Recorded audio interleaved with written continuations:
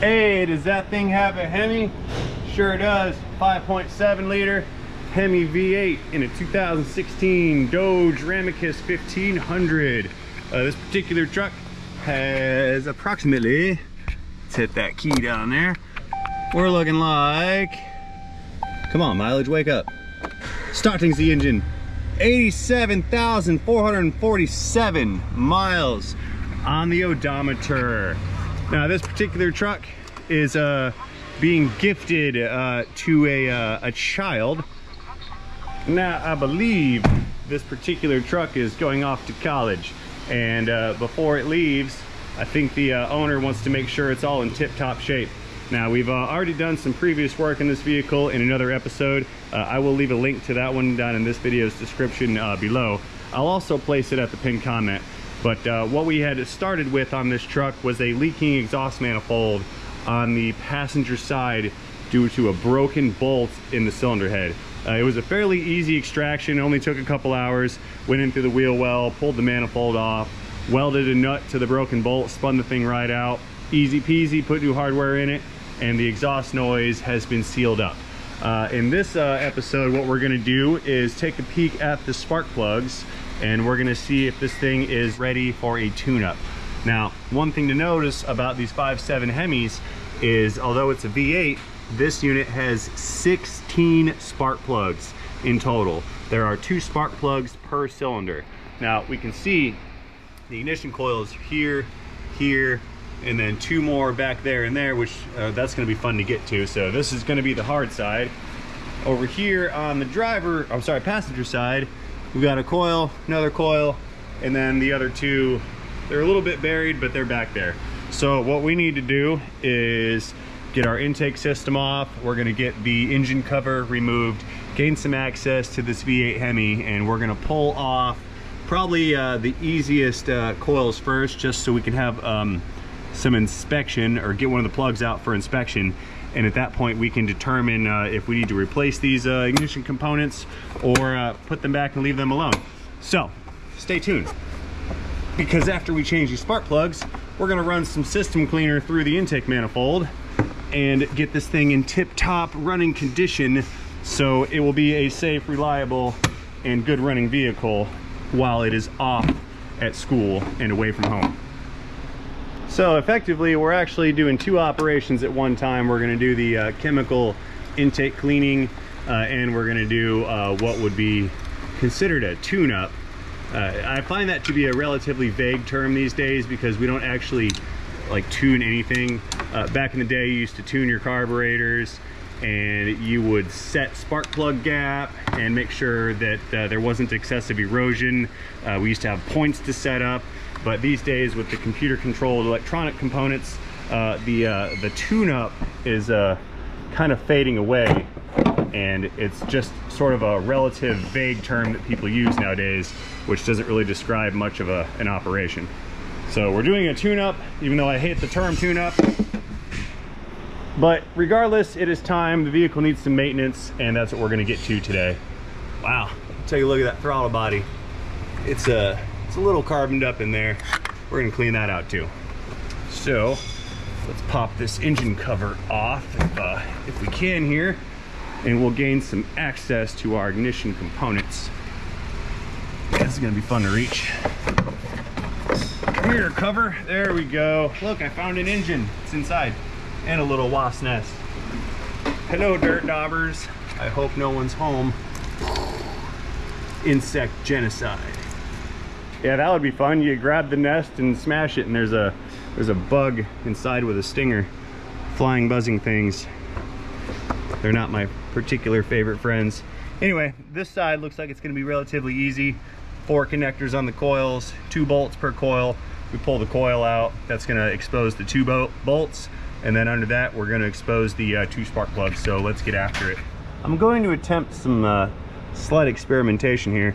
We're gonna see if I can extract these uh, coils without disconnecting the connectors. Sometimes that can be achieved. There's enough slack in the, in the little wire here to get it apart. And other times that cannot be achieved and we just have to uh, fully disassemble everything. So let's find out which option we get on this particular truck. And it looks like I'm lucking out so far. Yeah, look at here. Two coils, or two coil boots, two spark plug boots on one coil. Plugs are buried down in the holes there, so let's get the spark plug socket in there and get one of these units extracted. Okay, spark plug socket coming in. Got the socket with a little magnet inside to hang onto the plug. We've got a universal and an extension. So that should uh, help us get uh, good access down to those plugs quite easily. The extension's a little long. Oh, gonna need a shorter one for the rear plugs.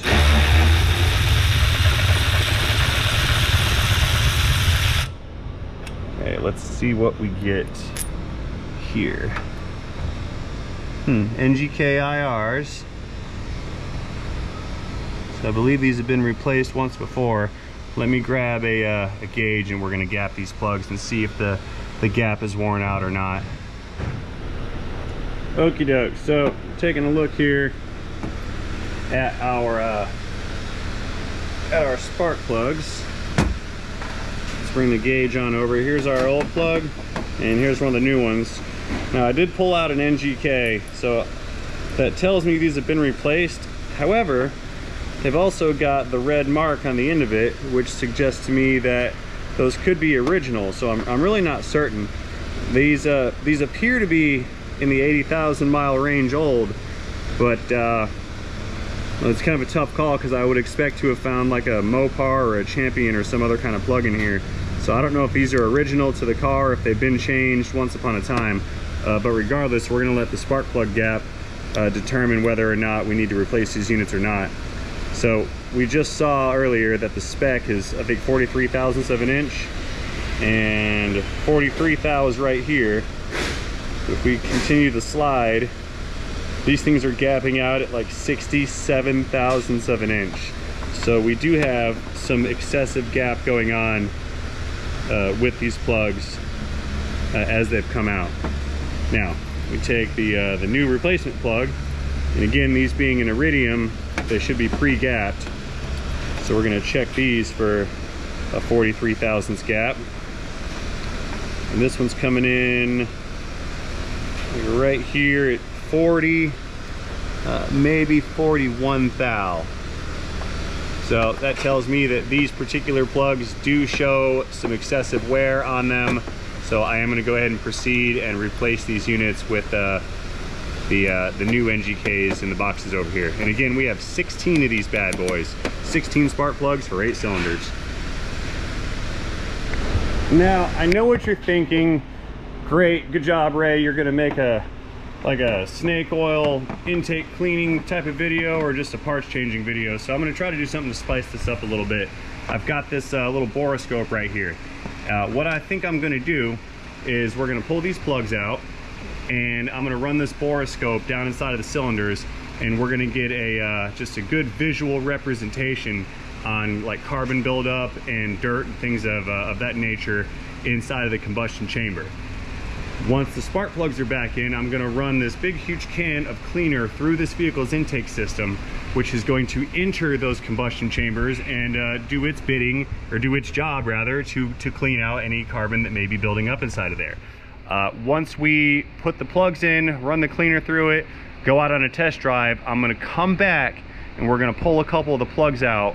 We're gonna go back in with the borescope and then we're gonna see if there's any kind of a difference between the before and after the cleaner. So we're gonna, it's like multifaceted. We're gonna do a tune-up and we're gonna do an experimentation to see if uh, any of my cleaning products are actually effective. And that way we can put that controversy to bed uh, once and for all. It's either snake oil slash lizard lotion or it is a highly effective cleaning product that actually does work in the real world. And this video is going to determine that once and for all. Now, I, uh, I fully intend to make this a quick and enjoyable and uh, educational type of video. So I'm gonna move rather quickly to get to the meat of the, uh, the topic at hand here. So we're just gonna get all this stuff pulled out super fast, like no dilly-dallying around. We're just gonna get it done.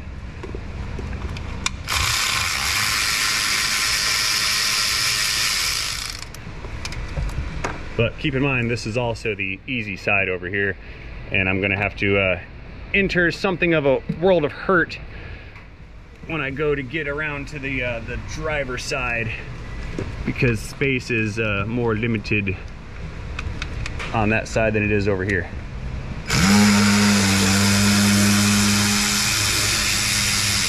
And I'm even running out of space over here. This is getting good.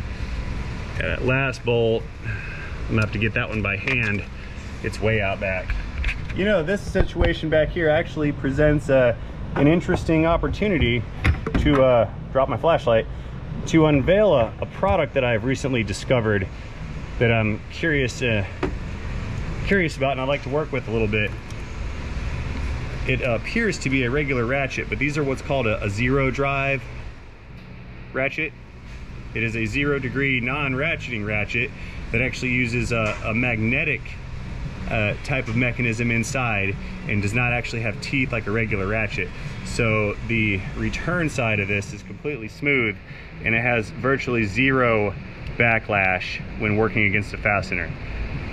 Almost nothing there. And I'll compare that to a very fine tooth snap-on ratchet and we can hear if the background noise would stop, we can hear there's some clicking action going on here. That is the ratcheting mechanism inside that is functioning. Difference between this ratchet and this one is the internal mechanisms and this one does not have any kind of ratcheting mechanism inside of there. It's really, really good from my understanding of these uh, very tight spaces. So I'm gonna try to use this guy to dig out that last 10 mil down there and uh, hopefully it'll uh, it'll perform as intended and make this operation slightly easier. Space down there is super limited on uh, on this last coil bolt. Oh nice and smooth. Yeah I'm liking this. This is the first time I've used this ratchet but even with that fastener being loose I can see that it is uh it's working and rebounding without retightening as I uh, I go to move the ratchet around. So that's a that's a good first impression. Now I'm not selling these things right now or anything. I'm in the experimental stage. Uh, I managed to get this uh, particular ratchet right here as a sample. That way I can put it out in the field and just see if it can survive the uh, the abuse and the torture of a real life technician putting it through its paces. But if it turns out to be a superior quality product, which something that's something I favor, then I may end up featuring these things for sale on my website at rainmanraysrepairs.com. Uh, they're not there right now. I got to make sure it's uh, in good quality condition or of good quality. The thing that got my interest peaked with Zero Drive uh, overall is it's a 100% manufactured in the United States. It's a domestic product. Unlike some of the cars we have nowadays where you think they're domestic products and they're, they're made in France or something. Or who knows where. Bangladesh. Uh, no offense to the French or anybody else for that matter. It's just, uh, well, Americans like stuff made in America. Here we go, that's our last coil. Pull that guy out. So now all of our plugs here are exposed. We're gonna go back in with the electron ratchet and spin the rest of these guys out. Man, I said I was gonna make this fast and I started turning this into a sales pitch for a, a new ratchet. Oops, sorry. By the way, nobody paid me to say anything good about that ratchet.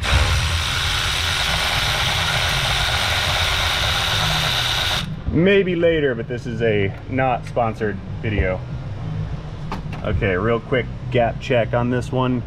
It's another ngk we're looking at uh 54 thousandths of gap on that unit. So not as bad as the first one but it is uh, still out of spec. 16 spark plugs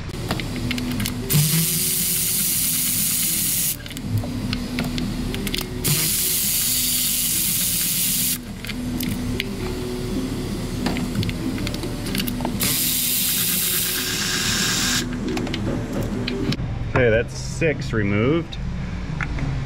A couple more down here. Uh, what are we stuck on? Stuck on, there's a bunch of stuff in the way, like a PCM bracket and a wiring harness.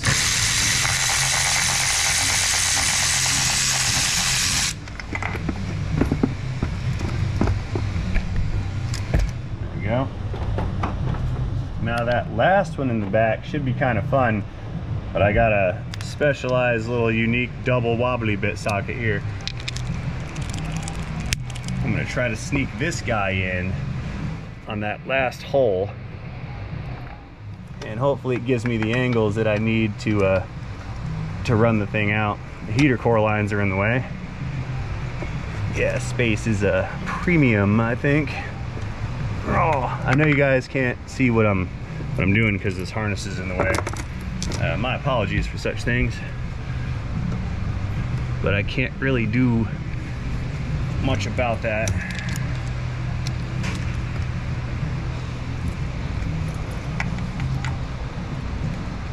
Come on. Come on. Why?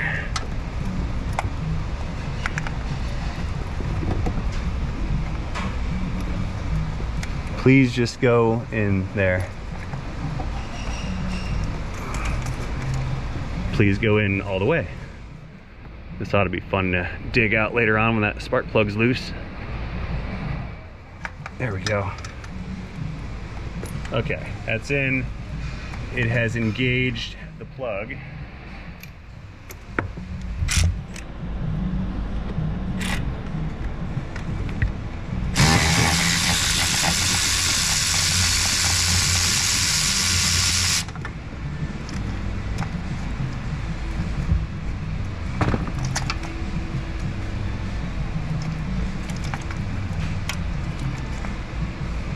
I said I was gonna do this fast, didn't I? I lied. This is not fast.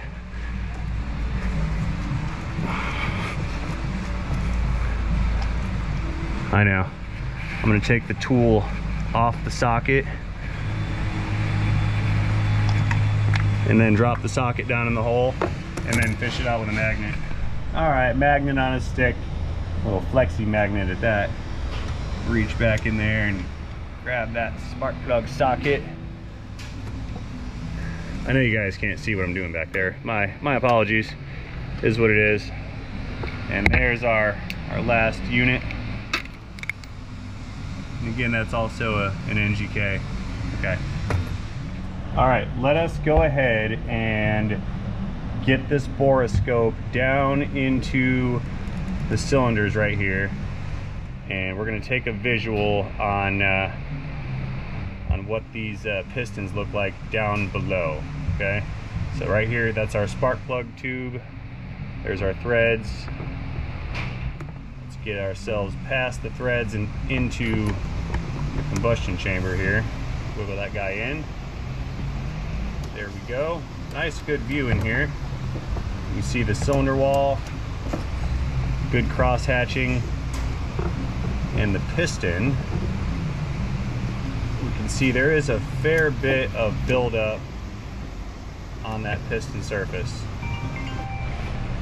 Okay, so that was our first cylinder right here.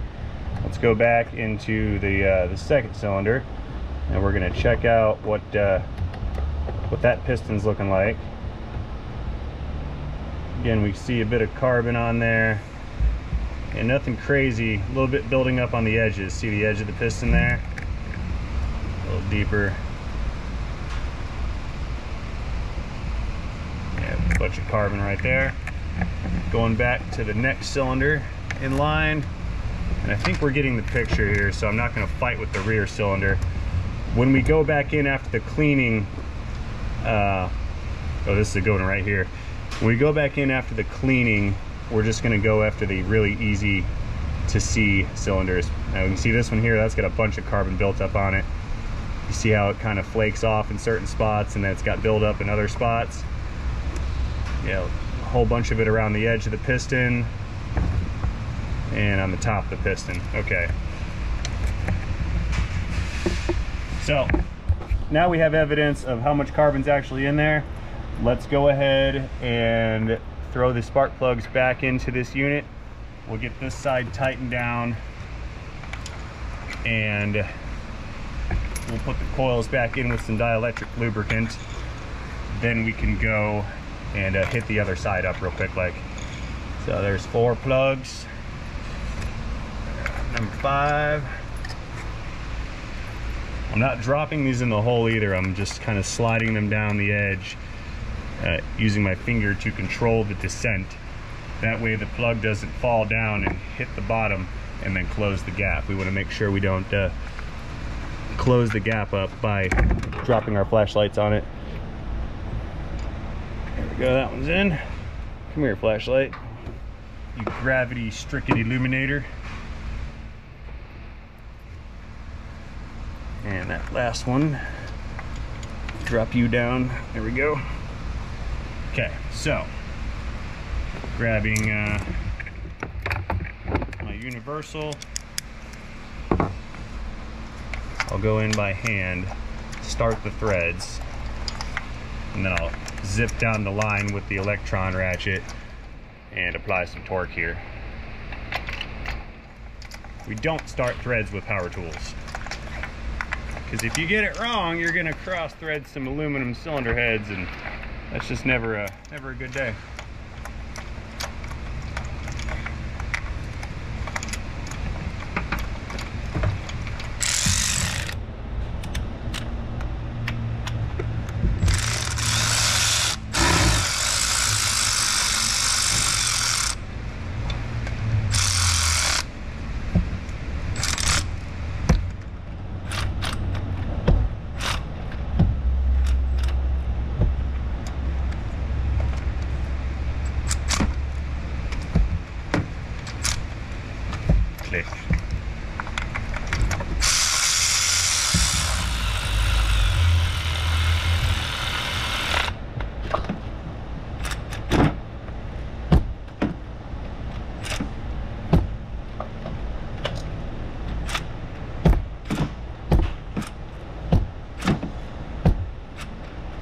There is a uh, crush washer on these plugs and I'm just crushing the crush washer. That's why they're taking a minute to uh, come up on torque. Ooh, you know what? I have an idea. Shorter ratchet. I didn't exactly have the throw space to swing that longer ratchet, so I got the the short shanked one. Make that a little easier.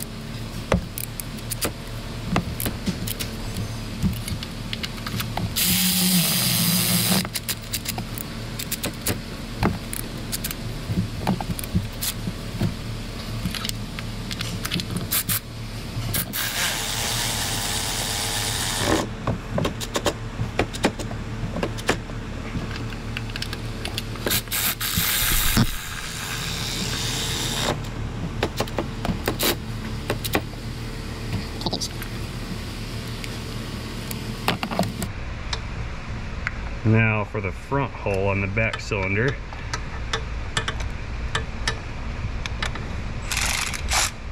That's the easiest of the two holes back there.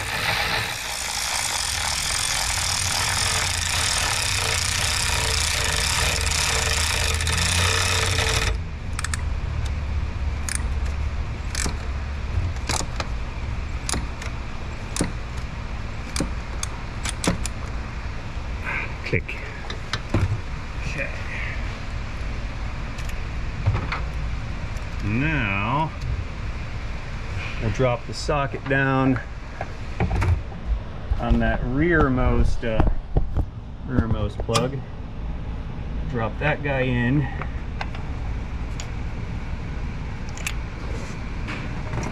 And I can sneak in with a little swivel extension, or the double swivel rather.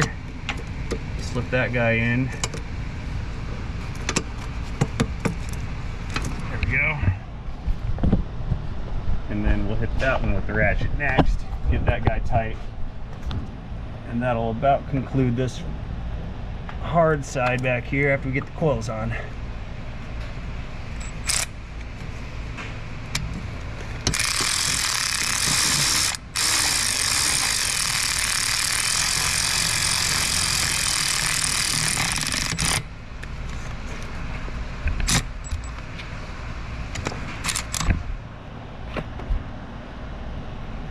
Clickage.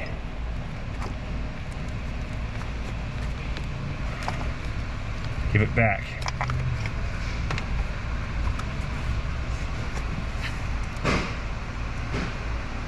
Just have to disconnect the swivel. It's too long to, I think, pull out with the socket here. Oh, I dropped the socket in the hole. That's fine. Magnet on a stick. Pull that guy right out. There we go. Okay, a little bit of dielectric on our coil boots and we can drop these guys back into position. Okay, a couple little squirts of grease in here to contain the electrons and prevent uh, moisture from getting in there. We'll drop them all in and bolt them down with one swift action of efficiency.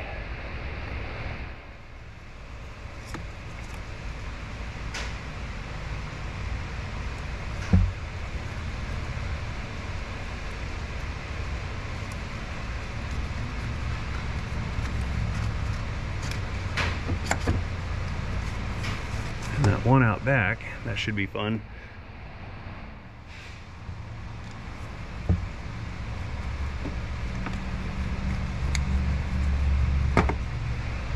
Can't even see the hole. Oh. But I can feel the holes.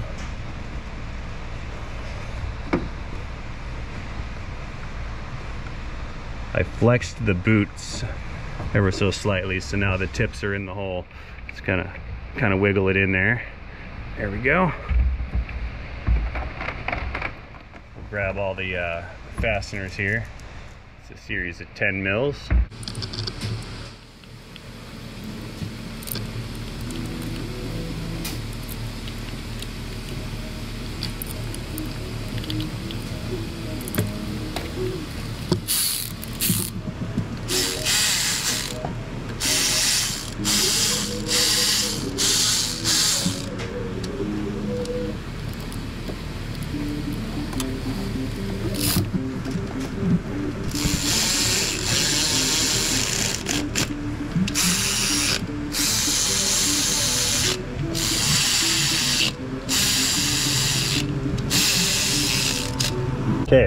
Easy ones.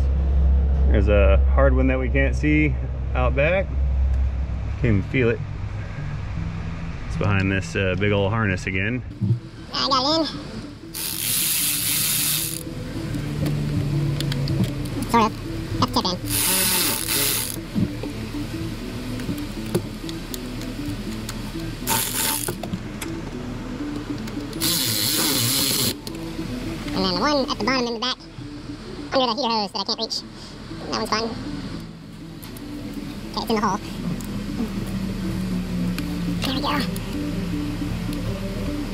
In, please. Get in there. Okay, got it. Let's get after it with the zero drive.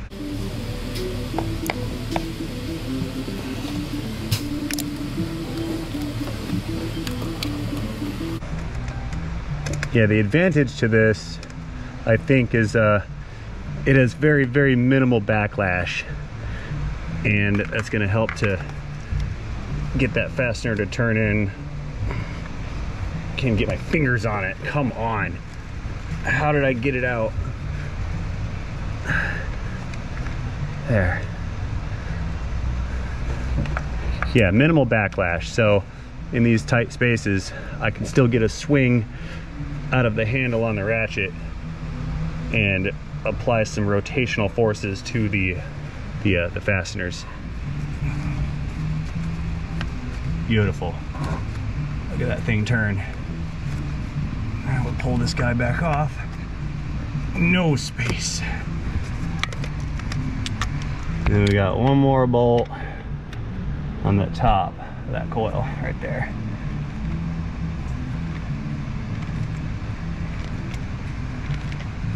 All good to go.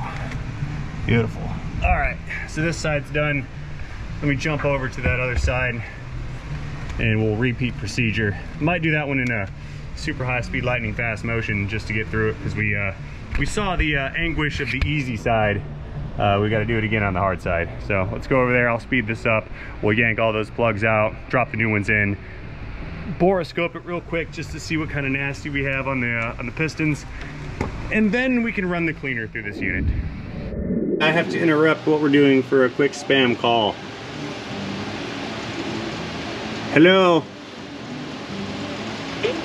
Boop. Hello. Hello. Yeah, hi. This is Grace calling you from Student Loan Purchase Center. How are you doing today? Okay, I need to inform you this call is being monitored and recorded for quality control. Is that okay with you?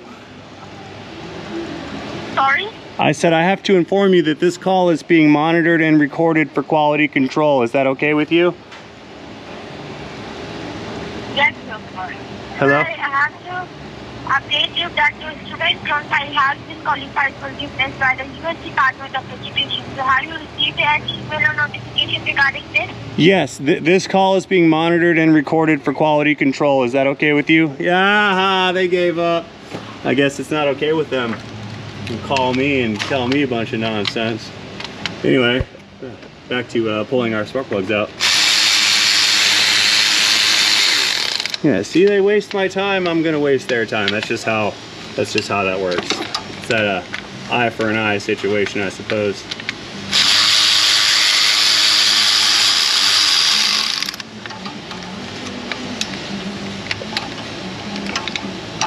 Oh, I forgot to uh, engage super high speed lightning fast motion here.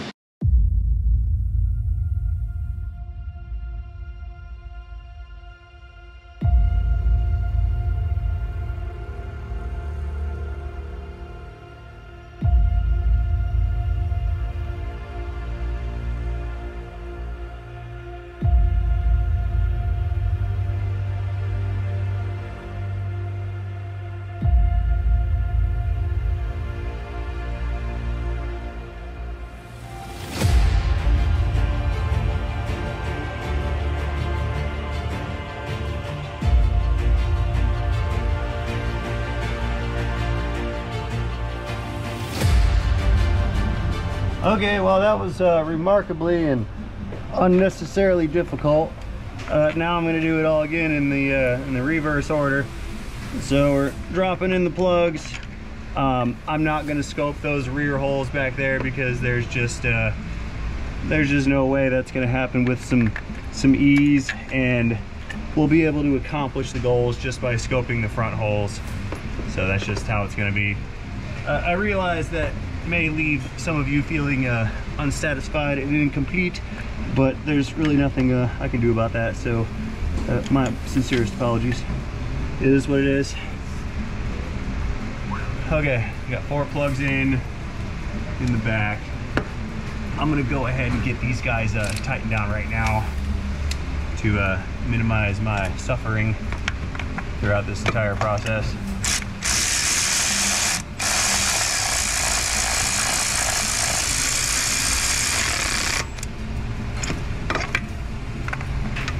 Torque these in a minute. We're just running them down.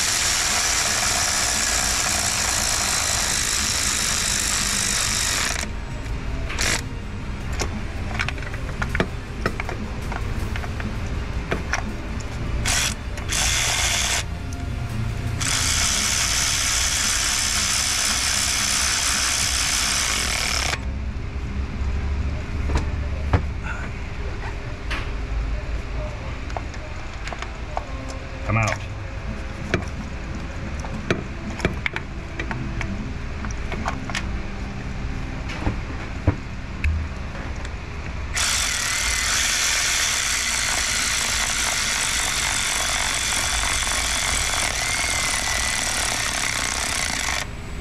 Okay, that's the last four.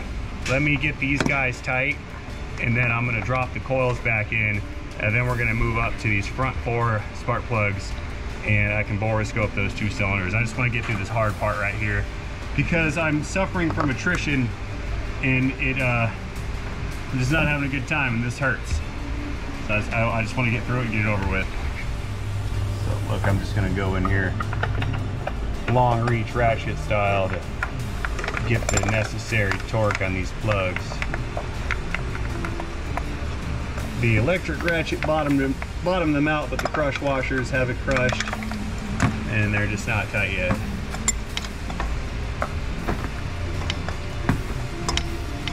I need a zero drive ratchet for this application. There's a lot of backlash in this, and it's making for some wasted effort.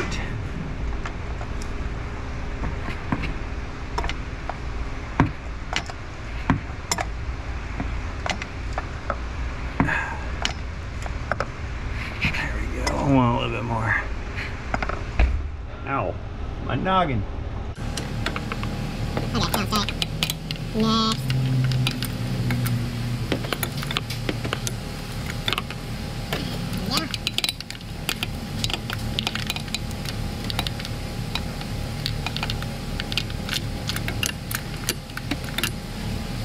Yeah.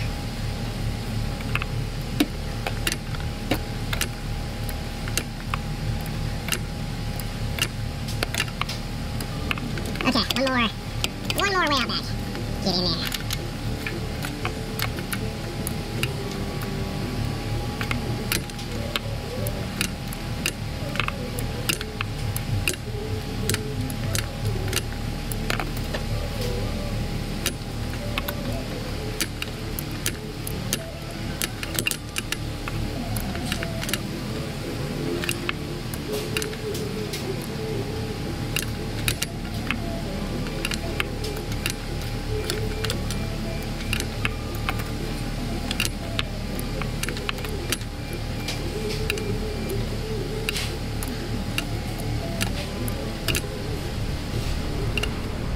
little bit more. This is taking like all day and an hour. There we go. To get that one kind of tight. And now that that one's kind of tight, let me try to get this, uh, get these coils back in position here. You know, I think I might be better off just uh, disconnecting these electrical connectors on this side. I think Oh, come on. I'm not enjoying this job. I'm not enjoying it at all.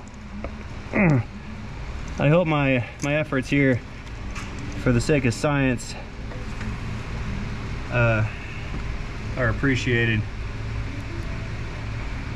Because I just uh, remembered I need to go back in and take some of these coils back out just to just to see if my cleaning stuff was effective or not. And on top of that, it's gonna be hot next time I go back in there. Oh. Okay, I'm going in deep now. I gotta lay down. I'm gonna need two hands in here to get these tips in the holes. I think. Oh, there we go. Woohoo. Okay, I one coil.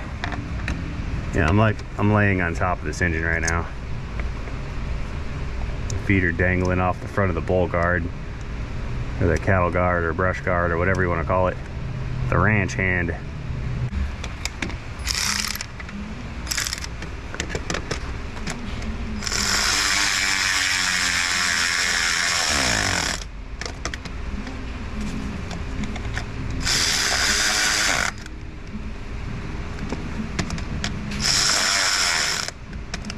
go.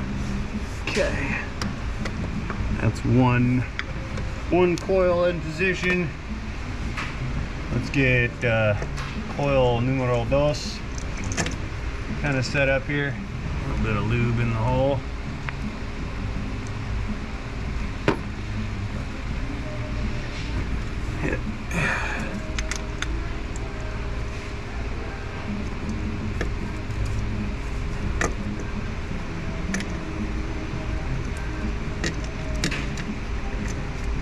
Get in there.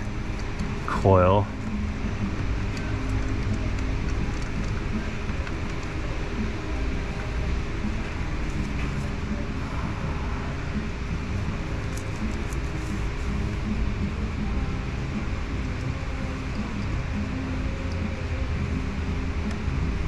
Oh, I'm dropping it. No, bolt, don't go anywhere. No.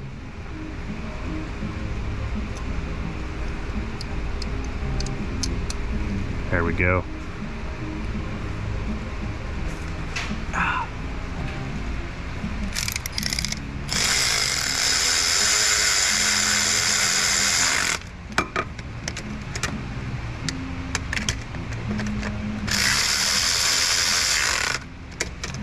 Woohoo, we're getting somewhere.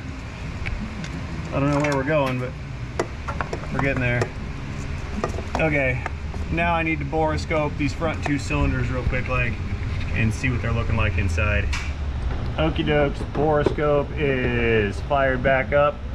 Let's go ahead and probe these uh, remaining cylinders here and just see what the, uh, the pistons and combustion chambers are looking like.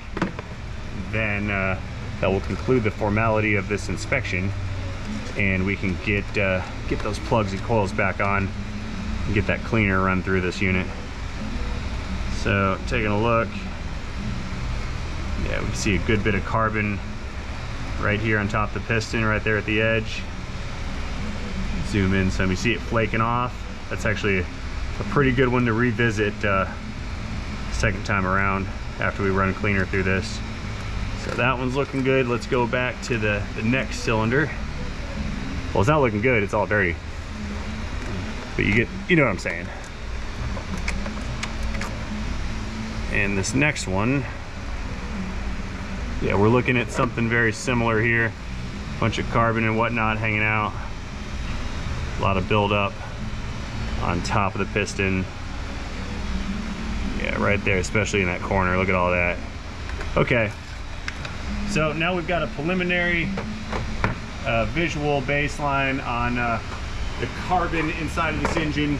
Let's throw the remaining uh, spark plugs back in, get the coils on.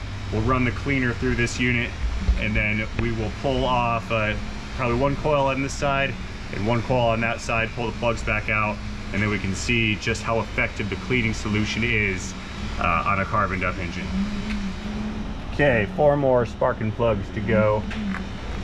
Get them dropped in. We'll torque them down, tighten them up, get the coils on, etc. etc. Whoa, I almost dropped it. Do not drop your spark plugs. That's not okay.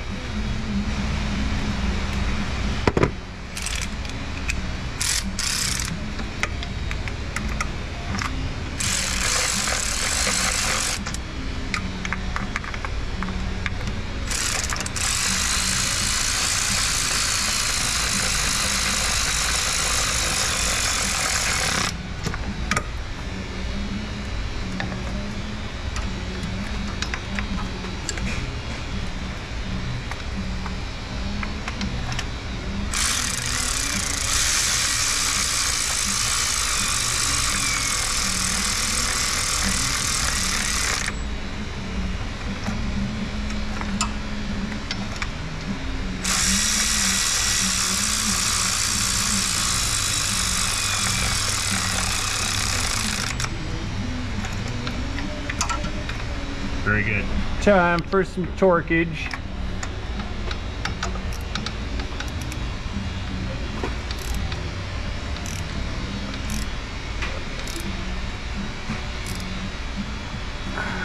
Tight.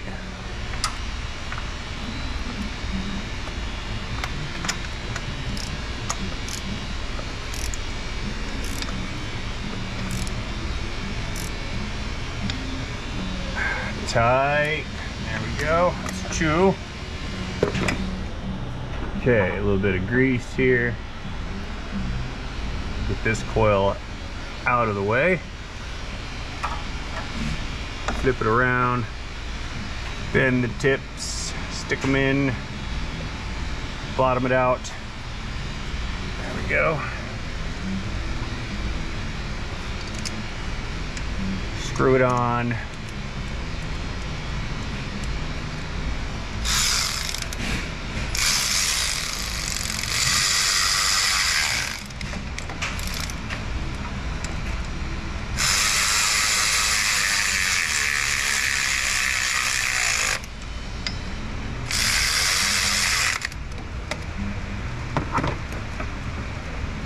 more to tighten down.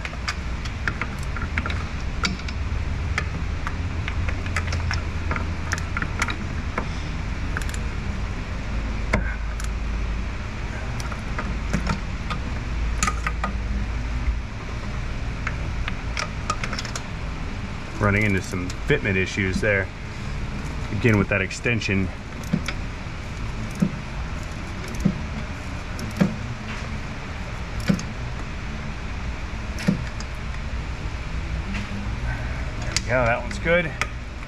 And this one, I think that one's actually pretty loose. Yeah.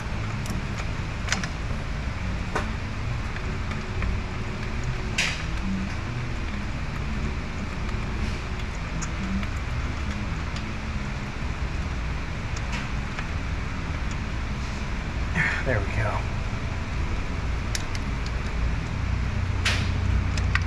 Come on.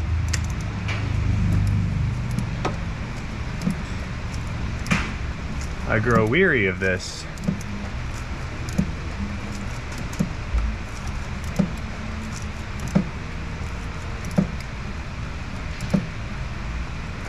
Sixteen spark plugs. Wonder why we needed 16. Okay.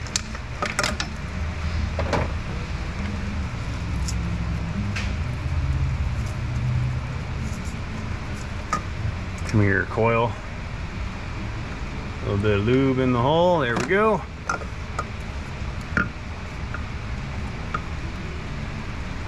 Shove those guys in there. How did I do this?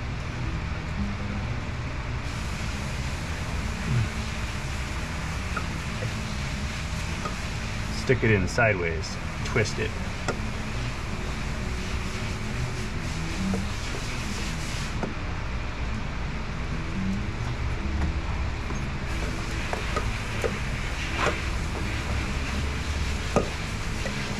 There. Haha. Got it. Good. Okay, two more bolts.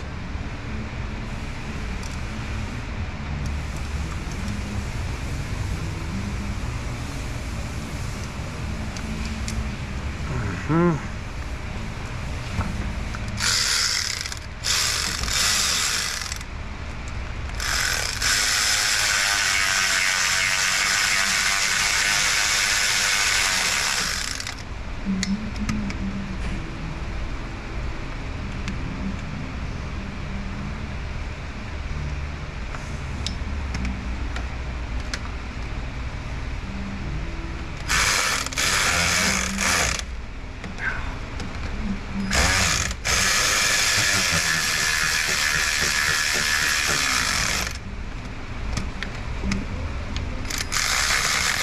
There we go. All right, we got them all. All the plugs are in. Woohoo! Uh, victory, kind of. We're not there yet, though. I need to clean the throttle body out and get some intake cleaner stuff set up. And we're gonna run that cleaner through this engine uh, before this operation is complete. Okay, so what we're looking for is this setup right here. We've got the 44K. This is gonna go into the fuel tank and that's gonna run through the injectors. Then we've got the big can of the platinum cleaner and that's gonna run through the intake manifold, clean the combustion chambers and the back side of the valves and anything else it comes into contact with for that matter, including the, uh, the pistons, combustion chambers, etc. And it's gonna help to break up and clean away all that nasty business. And this video and this operation is for the naysayers. I'm gonna prove that it actually does work, even though people think that it is lizard lotion slash snake oil. We're gonna find out differently today, right here and right now. So first things first, we're gonna manually clean out this throttle body because we can see there's a bit of buildup around the edge right there. Uh, nothing too crazy, but I am gonna go ahead and clean that out with a towel and uh, just some penetrating oil will be sufficient. No need to use a heavy duty solvent, uh, just oil will clean that out no problem. There are uh, throttle body cleaners out there on the market and I'm sure they work just fine, but I see no reason to not just use what works and this penetrating oil works uh, without fail. So we're just gonna use that. Go in there and hold the throttle body open. Kind of just wipe that down around the edges of that bore. See that? And then same thing on the, uh, the other side of that throttle bore. Give it a little bit of a wipe. Wipe down the throttle plate on the edges especially. and get the bottom side if you can. There we go. Nice and clean like. That's good. Okay, so now Can take my intake tubing, which is also the air filter lid, get that back in position, and we can reconnect that. Just like so. Gravity. Over here on this side, I'll snap the uh, airbox lid back into place and plug the PCV in. There. So, what I'm gonna do here in order to uh, deliver this cleaner properly is I'm actually gonna go ahead and separate this section of the tube because I need to run the nozzle uh, for the cleaner delivery device into this tube as close to the throttle body as possible. So what I think I'll, I'll do here is disconnect this guy. Yeah, see that nozzle right there? That's gonna spray that cleaner out as a very, very fine mist. Um, actually, you know what? I have a better idea. Uh, normally I wouldn't do it that way, or this way, but I think for, uh, for visual aid and learning experiences, I'm gonna, I'm gonna change this up ever so slightly. So normally we would run this nozzle into this tube and get it pointed down over the throttle body like so.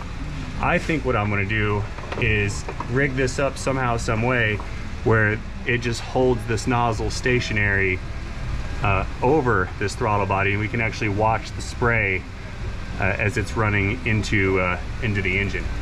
Yeah, I think if I just clamp this on in such a fashion like this, I'll be able to monitor that spray pattern and see uh, just how it goes in and how it dissipates into the engine. I think we should, uh, I think I'm gonna try that this time. Yeah.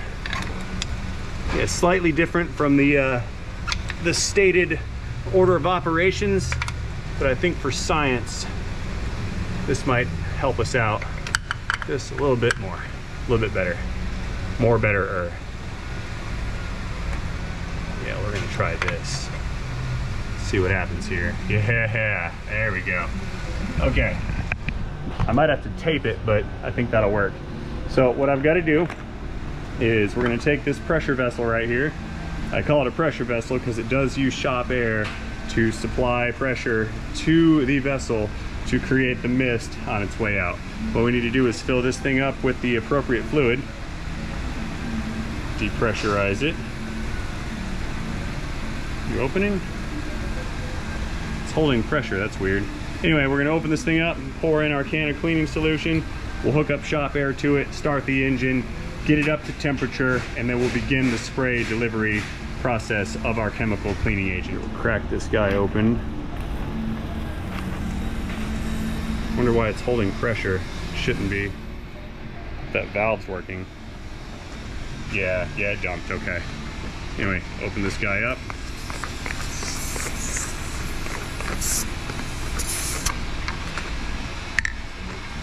Very good. One can of BG Platinum intake cleaner solution. Dump that in. Fill it on up.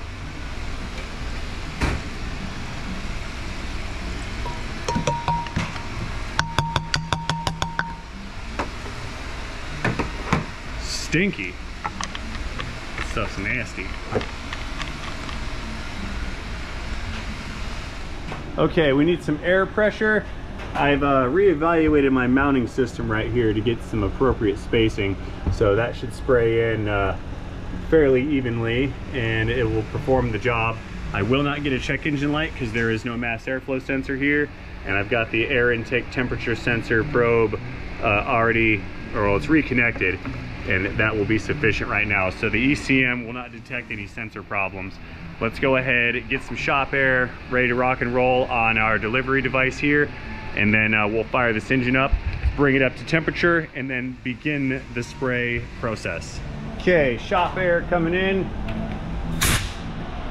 So now we have pressure and pressure. Shut the valve off. I had the valve on and look, we're already starting to spray. See that? That is our cleaning solution. So what I need to do before this thing sprays, I'm gonna go ahead and fire the engine up. We need to let it come up to temperature because heat is a critical factor in this process being effective. Okay, she's alive.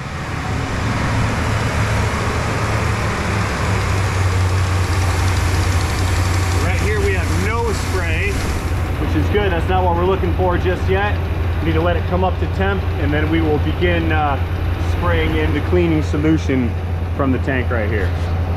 So I'm gonna give it five, 10 minutes to uh, come up to operating temperature and then we'll go ahead and begin the process. Stand by, don't go anywhere. Okay, so in order to accelerate the process, I will install this accelerator depressor right here. It's kind of like a caulking gun with a little hook on the end of it that hooks into the steering wheel. And as you trigger this thing out, it'll expand the rod and press that against the uh, accelerator pedal, uh, thus raising the engine idle. So we're gonna get this guy installed right here against the steering wheel. You just run her down, it hits the pedal, it presses the pedal. That's gonna raise our RPM. We're looking for 1800 to 2000 and I'll turn off the AC to help stabilize that idle. 2500, a little high, back it down some.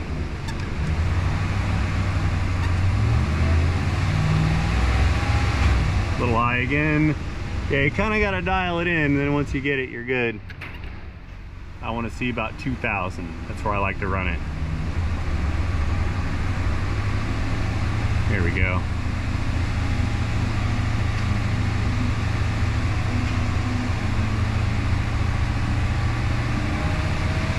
Beautiful, right there, that's the sweet spot. Okay, we'll leave her alone for a minute, let it come up to 10. Okay, it's been about 10 minutes. Our gauge says we're up to operating temperature, that's on the cooling system. So since cooling system is warmed up, that tells me that the combustion chambers are definitely warm. So now we can go ahead, open up the valve, and it's gonna start to spray the mist into the throttle body. So let's fire it up, get her open. There's our spray. You see the spray pattern right there. So all of this cleaner is making its way into the intake stream and it's atomized as it's going in. So it's being carried into the combustion chambers as a mist. What we do, we let this go in for about uh, 30, 40 seconds. Then we head into the cabin, slam some throttle, give it a wide open throttle burp. That way it kind of sucks up everything that uh, is in the intake and it will disperse it into the engine. So we're just gonna push this down a little bit, give it some throttle.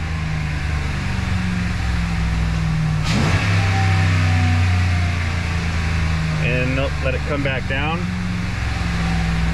We're gonna do that every 30 or 40 seconds.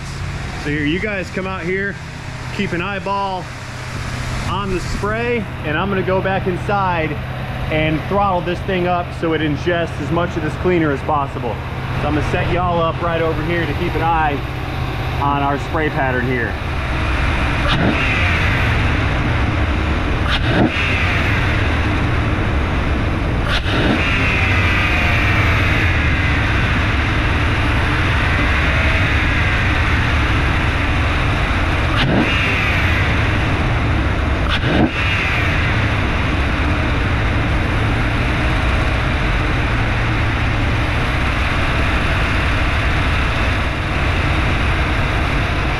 Let's go out back, check the exhaust real quick and see if we've got any smoke or anything burning off out of the pipes. Not yet. Got a fan going to blow the exhaust out so we don't die. And again, you kind of got to know what you're doing so you don't die.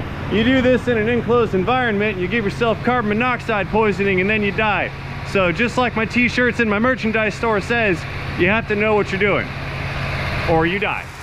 And I don't want to die. I almost died last week. I don't feel like dying this week.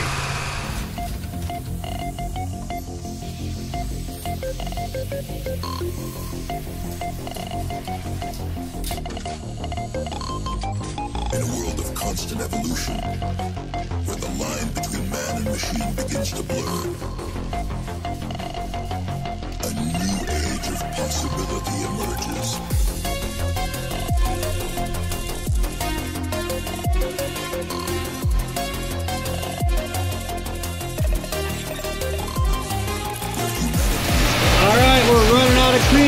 Just a couple of shot glasses left in our pressure vessel here. Spray is going in rather nicely. Let's go inside, and check the dash for warning indicators and make sure the temperature is in line. Looking good in the neighborhood. A Couple more wide open throttle blurbs here. Suck in some more of that uh, that good stuff. Get it nice and clean like. Uh-oh. Oh no, my thing's stuck. There we go. Yep, a couple more throttle blurps. Make sure everybody gets ingested. Then what we're gonna do is once we're out of cleaner, we shut this engine down, let it cool off for about five, 10 minutes. Then we can take it out on, on the road, test drive it, vlog it a little bit, run it through its RPM band. Then we're gonna bring her back in, pull a couple spark plugs out, and check the condition of the pistons and the combustion chambers with the borescope. And we're gonna find out once and for all whether this stuff is any good or if it is junk. And that is the plan. Uh-oh, look here, we're running low. Let me shake it. Shake the thing here and get all the last, uh, the remaining last bit of goodies out. Spray, spray, spray.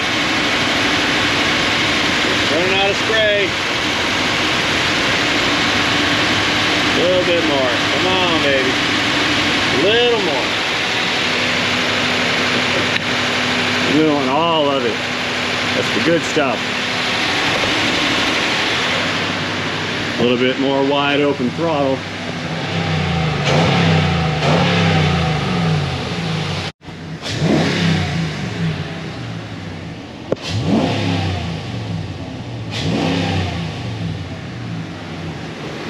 Okay, let's go check our our spray device here. And yeah, we're running out. Let's go ahead and shut it down. That's the end of our cleaning solution.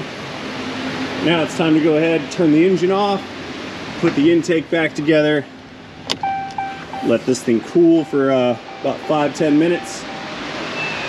Doo -doo -doo. There's that time clock. Again, it's not the phone, but it's close. Doo -doo -doo. Okay, enough screwing around here. Let's get rid of our tooling and whatnot.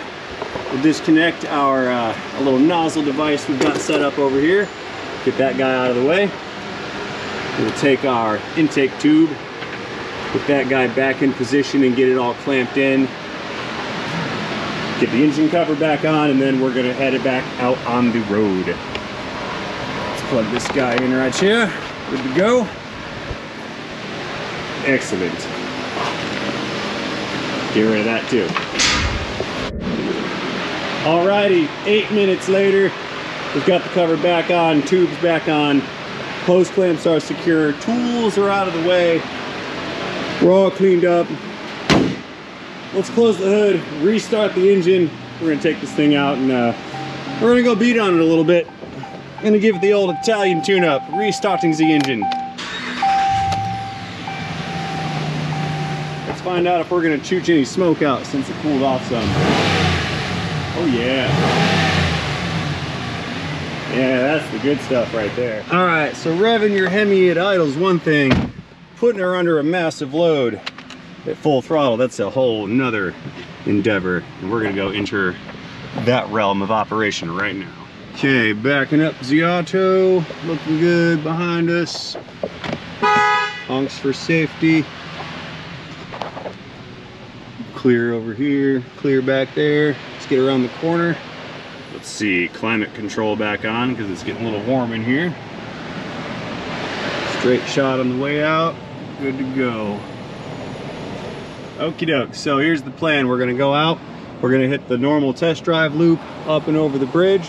That's gonna afford us a spot for some full throttle, wide open, 100% load And at that point, it's gonna start to seriously raise combustion temperatures inside the chamber. And uh, any and all carbon that has been affected by the cleaner will be breaking up at that point in time, in which case it will migrate its way right out of the tailpipe, leaving us with a uh, nice clean top engine. Okay, traffic's clear, ready to rock and roll. More steam. Full speed ahead.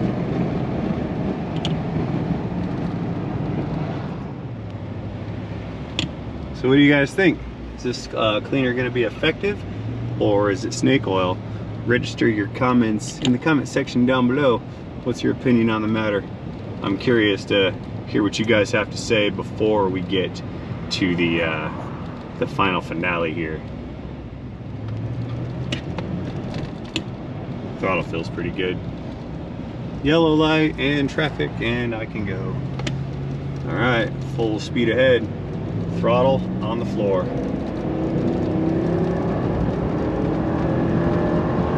Well, it didn't blow up. So we're good. So far, so good. Hello, shop. Goodbye, shop. Okay, easing off the throttle. One more time, wide open throttle. Beautiful. And some brakes. Slow it down. I was uh, in excess of the speed limit by 16%.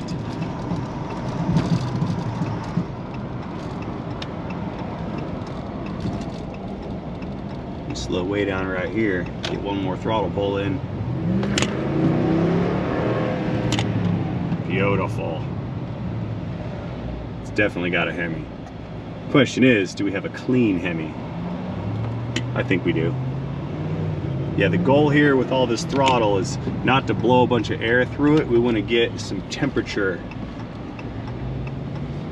some hot temperature. We want to raise the temperature, and that's going to help to break up all these uh, pieces of carbon and deposits and varnish and debris and things of that nature. You know, the same principle applies to the oil system cleaner stuff. It's uh, highly effective as the temperature goes up. It's uh, what they, they would call uh, temperature activated.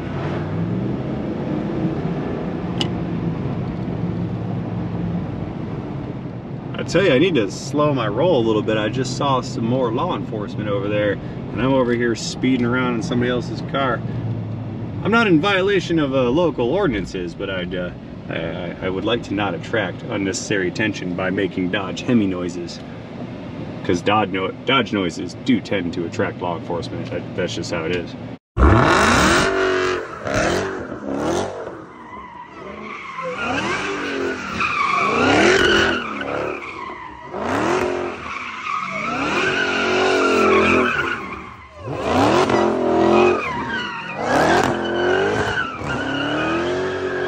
Back into the shop space over here. We're gonna swing her back in. I'm gonna pull off the, uh, the front two coils on either side. We're gonna pull out one spark plug and we're gonna go back in with the borescope and we're just gonna take a look at what these pistons look like and compare that with uh, what the, uh, the before version looked like and we're gonna determine once and for all whether or not this cleaner stuff has any validity to it, validity to it or not, words. Nose it on in. Right here in the middle should be good. Good, good, good. Right here, excellent. Parking the auto, powering down. Okay, hood up. Hello, Hemi. Lights on. Let's get in there and see what we're working with. Okay, coil coming out. Two bolts. I'm not even gonna pull the engine cover back off. I can reach everything I think I need to reach. If I can't, I'll, I'll figure it out.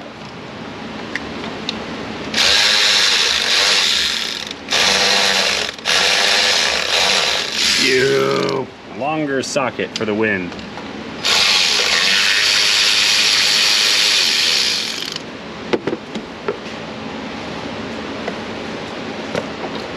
Okay, there's our coil pack spark plug socket going in. And again, I'm only pulling one plug out. We don't need to do both. It's uh, not necessary.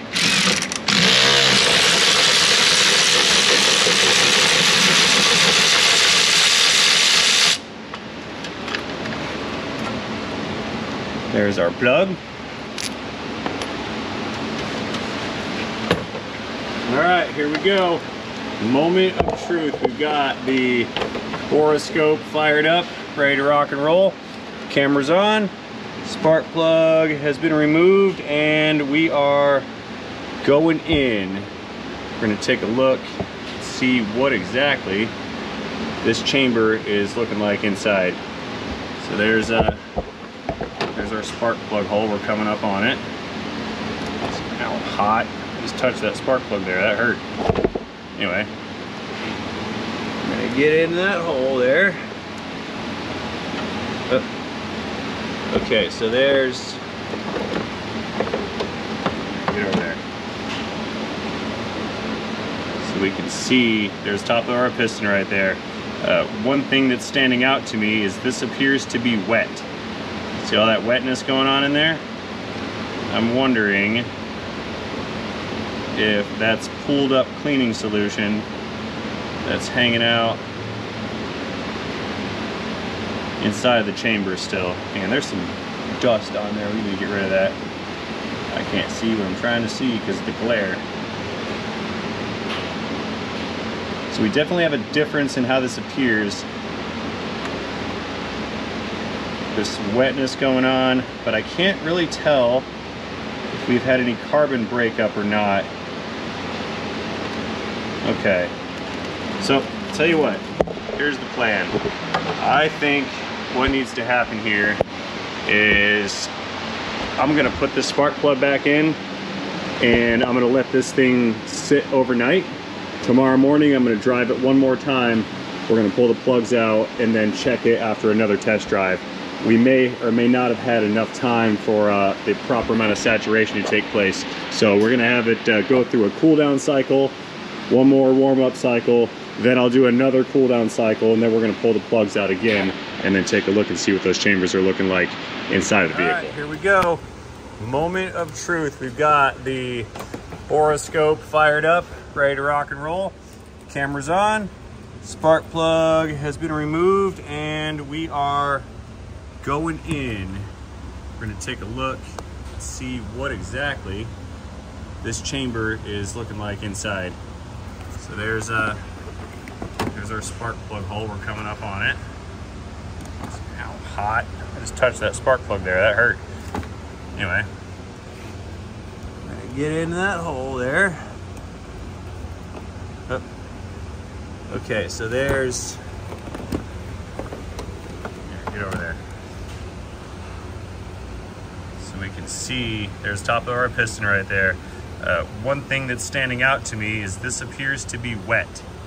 See all that wetness going on in there?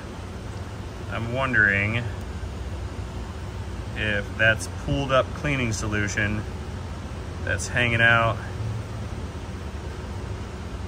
inside the chamber still. Hang on, there's some dust on there. We need to get rid of that. I can't see what I'm trying to see because of the glare. So we definitely have a difference in how this appears. There's some wetness going on, but I can't really tell if we've had any carbon breakup or not. Look at how much saturation has taken place with that carbon right there. What this chemical is doing is it's building up in that carbon or absorbing into that carbon. And as this carbon heat cycles, it's gonna be able to break that up and chip it away and remove it from the inside of the engine. Now, the top cylinder cleaning is not the, uh, the primary function of, uh, of that cleaner. Our primary function here is actually intake valves and valve faces and intake runners. However, once it makes it past all of that, we do end up inside of the combustion chamber. And again, it can still do its, uh, do its work against the carbon buildup in the chambers. So over here on the, uh, the driver's side, let's go in one more time and see if we see anything similar to what we saw on the number one cylinder uh, on the passenger side. So we're going back, trying to get past the, uh, there it is. I tell you what, that piston's up at the top of its bore. Uh, let's give the key a bump real quick and see if we can't run that piston down for a little bit of a better view. Key bump. There we go. And I did have the tip pulled out. That way it wouldn't smack into it and uh, and break my camera. So let's see, let's get that past. Get in there. It's uh, stuck. Oh, there we go. Got it past the threads. Oh, look at that upper right hand corner. See that? It's a bunch of flaked away carbon. We can see freshly exposed piston. And there's a bunch of chunks in the center. Looks like they're starting to come apart as well. Yeah, we can clearly see how that uh, that holds some saturation. Here's a pic of the uh, the first time we probed this before the cleaner. You can see this carbon is just uh, all flaky and dry and now it's got some chemical absorption going on here. And again, as this thing heat cycles, it's gonna help to break that business up and ultimately remove it from the engine. Let's power this thing down. All right, guys, I think that's gonna conclude this operation uh, on this particular uh, Dodge product right here. I'm gonna throw these spark plugs back in, back this unit out, get it parked, and uh, release it back to the consumer who uh, who would like to have their truck back. So as always, I'd like to thank you guys for watching this video. Uh, let me know what you think about this uh, process and this repair procedure in the comment section uh, down below. Uh, do not forget to tap that like button while you're down there. And most importantly, do not forget to have yourselves a fantastic day. See you guys later in a video, in a tune-up, in a Dodge, in a day, in a transmission.